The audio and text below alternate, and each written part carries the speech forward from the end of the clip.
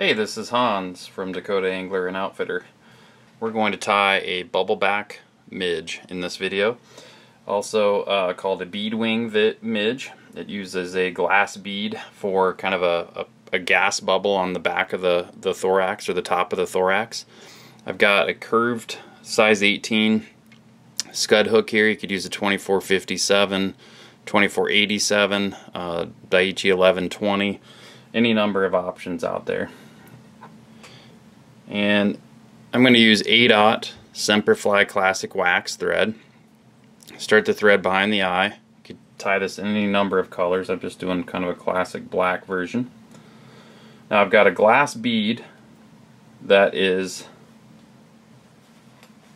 threaded on a piece of um, doubled over 100 denier gel spun thread. You could use um, some other types of heavy duty threads or dental floss I've even seen used before, but I had this on the bench, so it was easier than going and digging up something different. And all I've got is a size small pearlescent glass bead threaded on it and actually slipped off on me. There it goes. And what I'm going to do is I'm going to fold that over so I've got a loop with that bead on it. I can tie that in right where my thread is. I want to be about a third of the way behind the eye. Just kind of stand that bead up by tying on behind it.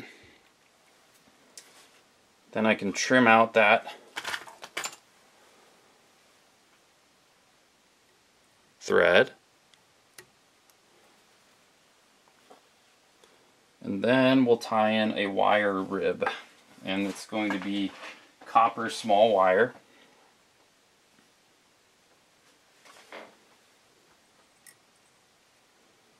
I'll lay my wire right where that junction is between that tie-off point so I don't get too bulky of a, a thorax there.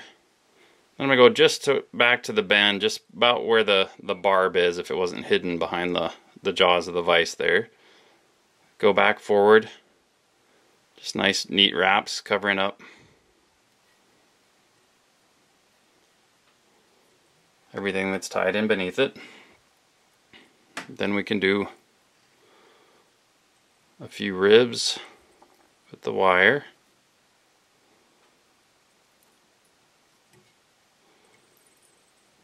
Tie that off.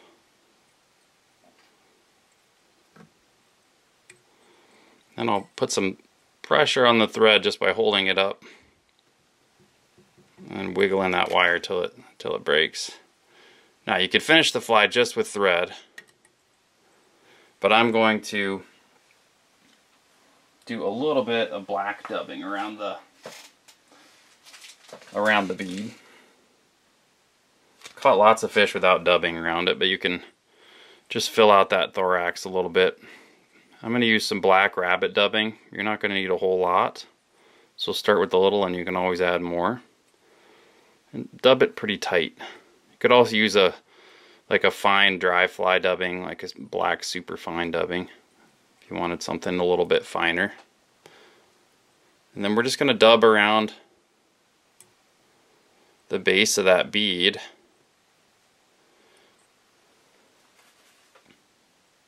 Got one little hair there, guard hair that we can pluck out.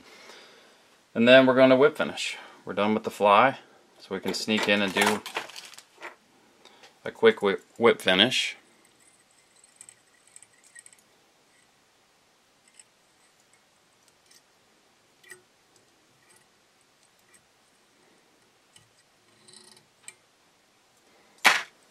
And then trim out our thread. And then we've Got a bead wing midge. Really effective little pattern with that gas bubble on the back. And we've caught thousands of fish on these. And typically tie them in olive or black or brown, but you know, you can make them any color that you want.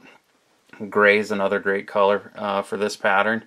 And you know, just mix and match um, your thread colors, wire colors, and come up with endless combinations. But the Beadwing Midge has been a, a, top producer for us here as well as throughout the West. So definitely tie some up and uh, go catch some fish.